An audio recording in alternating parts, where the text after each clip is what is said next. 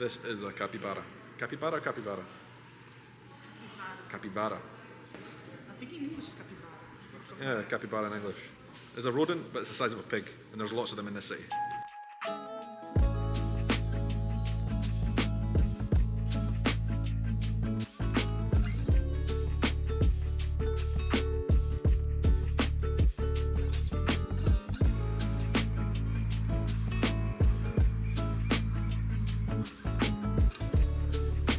Good morning from Brazil. It's another gloriously sunny day here, but I wanted to come outside before we started today, before we went anywhere, because this morning, at 8 o'clock in the morning, it was 5 degrees Celsius.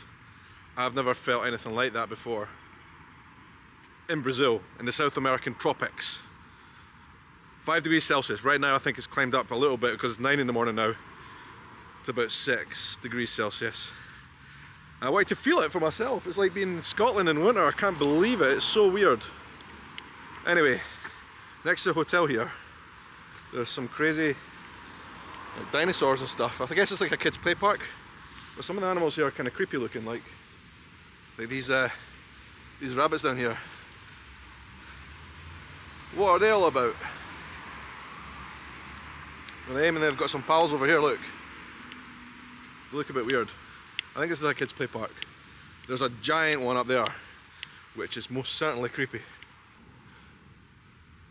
Look at that. uh, it's like, yeah, definitely a kids' play park. And then they've got like kind of woodland creatures and stuff. A tree or something there. Mushrooms. And then a random dinosaur. You see my breath in the air. That only happens in cold places. Bizarre. And then maybe appropriately, I would never imagine this would be appropriate in a place like Brazil, but there's snowmen down there. I definitely seem to be in a parallel universe right now where Brazil is a cold country and Scotland, where I left a couple of days ago, was hot. The world has flipped upside down. Wow. Anyway, it's breakfast time. Gonna get a munch and then we're gonna head out into the city of Curitiba. Oh, it's chilly, I'm gonna need a jacket. I have had fruit to start with, but I'm having sausage casserole again and scrambled eggs on bread for breakfast. All good. Look at Tekka's jumper for her nephew's first birthday party. Snoopy! I'm not going to film any of the birthday party because it's a family affair. It's, a Snoopy theme. Yeah, I was gonna say that because people might not understand what the hell. Yeah, well, it's not like ra- it's not a random Snoopy. It's like a Snoopy themed um, party, and there's going to be lots of Snoopy stuff. So she bought that specially. I think it looks cute. Yeah.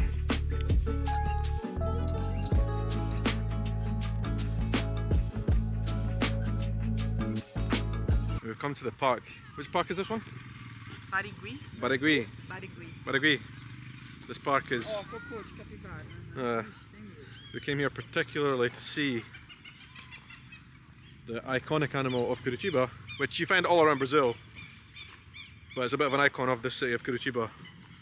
The capybara. The capybara is actually a rodent. It's the largest rodent in the world. Oh. Oh. Mm-hmm, mm-hmm. It's the size of a pig. And I can see a bunch of them right now in front of me. Oh, the swans are coming over to us. Geese.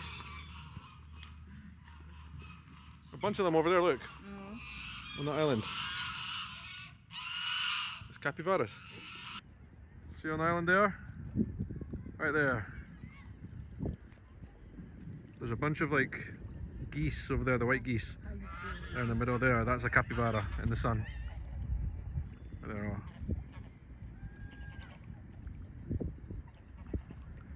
Quite cute looking things, aren't they?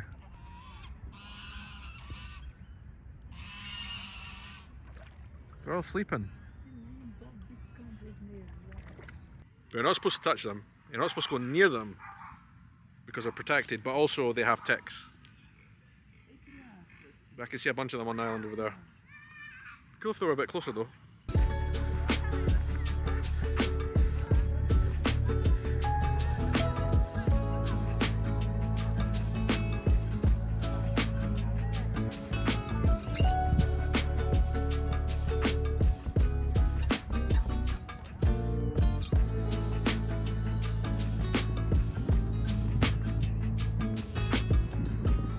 Just taking the sunshine. Managed to find a little spot around the lake where there's some capybaras right close to the water. There's one right down here, just a little baby one. It's got a bigger friend over there as well.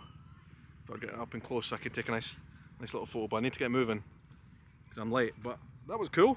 Got to see them up and close and personal. Wow.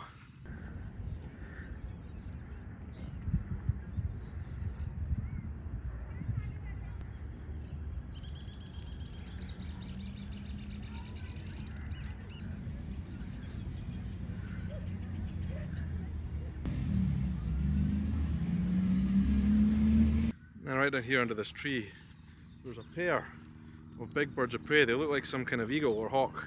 Not sure which ones. They're not like the other kind of common um, urubus, which are the vultures that you get around the, the lake here. That's pretty cool. What a what a beautiful day it's turning out to be. This is a gorgeous park. So much wildlife.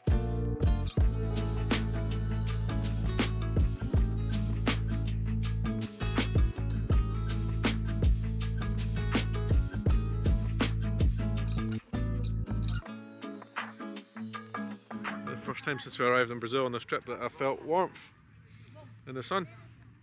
How bizarre. But that's the thing with Brazil in the south, I think, is it can be very cold in the winter, but there's big variations when the sun's out in the middle of the day. It can also be, you know, like 20 degrees Celsius. We actually came here before and sat in the grass. I Don't know if you remember. A long time ago. I flew the drone and got like a good view of the whole I city. don't think I sat on the grass, did I? We did. We sat here. I might be able to find that footage and put it on screen right now.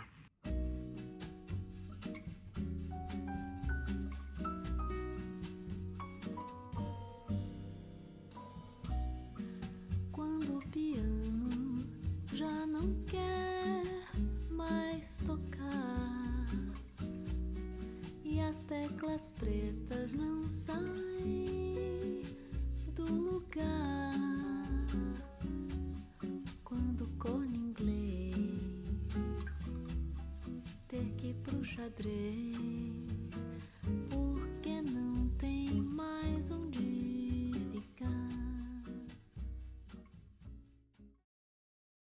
We're back walking in the Santa Felicidade neighbourhood today. It's a lovely sunny day and actually kind of warm in the sun.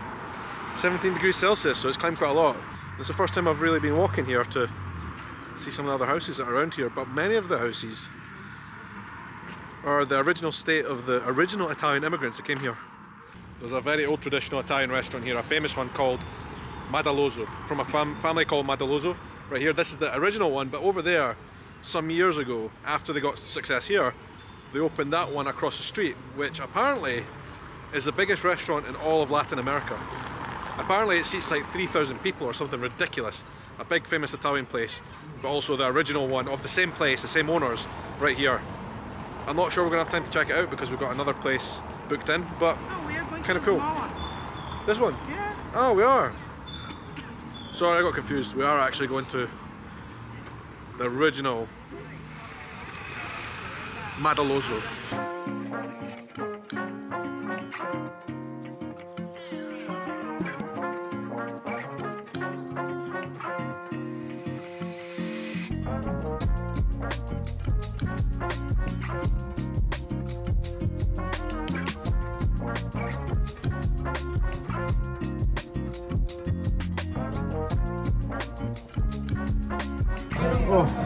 Full, but I'm going to try a dessert here, which is basically cheese and guava. Cheese and guava. And they call it a Romeo and Juliet here. It's like sweet and salty together. I'm not sure what type of cheese it is. Oh, that is very good. Wow. A shame I can't eat anymore. That was absolutely incredible. Very good. So full. Oh my god. That was another experience of Italian food here in Curitiba. I'm starting to learn about this Santa Felicidade neighbourhood and some of the the buildings here. That one actually there, right behind us, where the hotel is, um, where all the kind of toy animals and rabbits are. There's like a famous old traditional Italian immigrant house. But there's just so many restaurants. You could eat every single day in this neighbourhood. Santa Felicidade. Um, at a different place. You could eat at a diff- different place every day. The food is incredible. That place that we were at was a typical Brazilian style rodizio, which means that they you sit down and they just keep bringing food until you tell them you're full, and they keep bringing different types of food. It was just it was just really great. I really loved that, but I'm so full now. And I need to have a break. I think.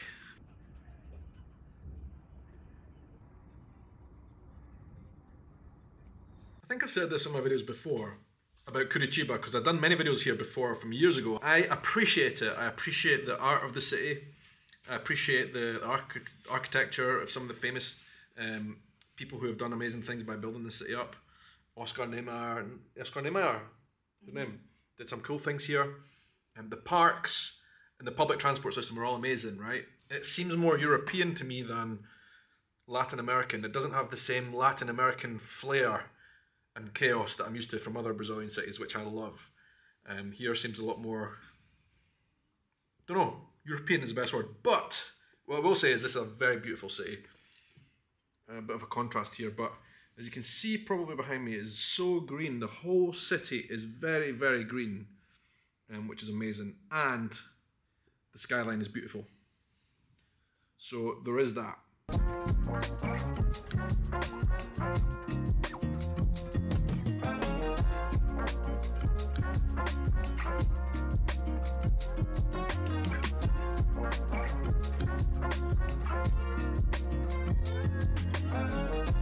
Música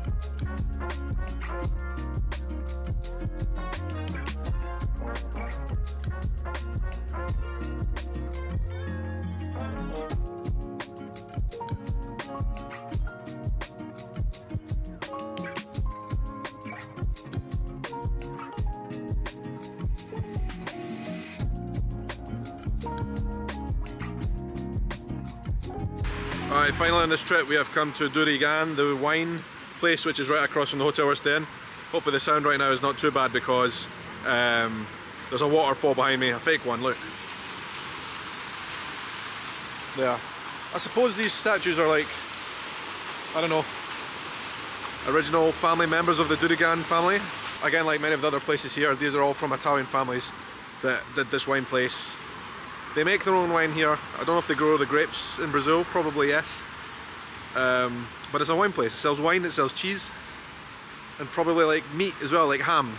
But what is strange is they've got like Christmas decorations out and it's very far from being Christmas. Uh, we're gonna go inside the massive shop anyway and see see what they have. I think they kept the Christmas lights. Yeah, they didn't move them. Yeah. Well, it looks nice. Yeah, you're gonna like the cheese. Something interesting, I think, and a curiosity for people who have never been to Brazil. Brazil makes wine. Who knew? Argentina is more famous as a wine producing country, In Chile. and Chile. Brazil is not famous for wine, but has some. We have a really old Ford car here, which I guess the family has always had. There's some really creepy dolls inside in this car. It's kind of cool to keep stuff like that. And they also have Oh a huge wine barrel thing here. Durigan since 1873. It's a long time for Brazil. Brazil is kind of like the United States of America in some ways, in that it's not an old country. Uh, obviously, it's, the European settlers only arrived, you know, like 500 years ago or something. Um, and so to find a business as this old is quite interesting and unique.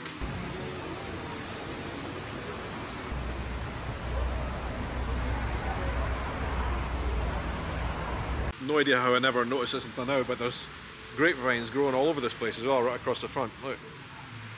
So yeah, the weather here does seem a bit more favourable to wine growing, to grape growing rather, not wine growing, to grapevine growing than it does in other parts of Brazil.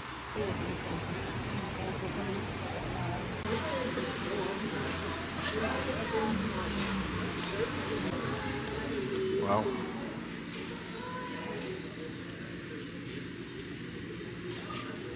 Do it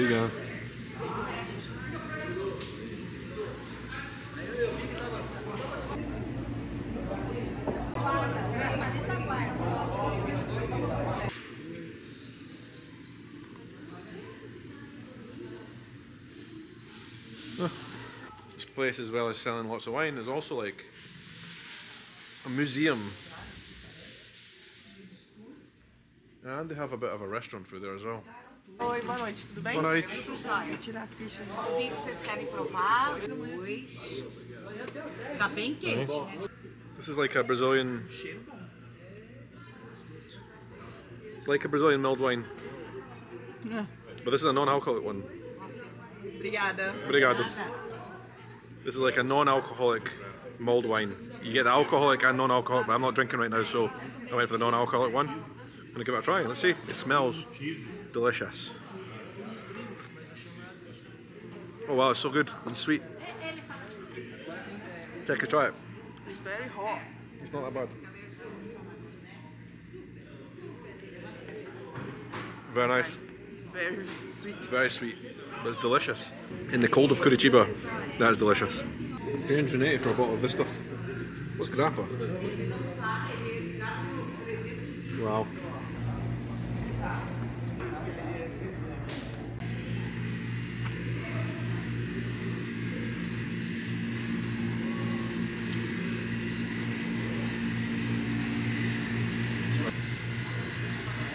Kind of curious about the alcoholic version because the non-alcoholic is maybe one of the best mulled wines I've ever had. It is so delicious and sweet. Mmm, so good.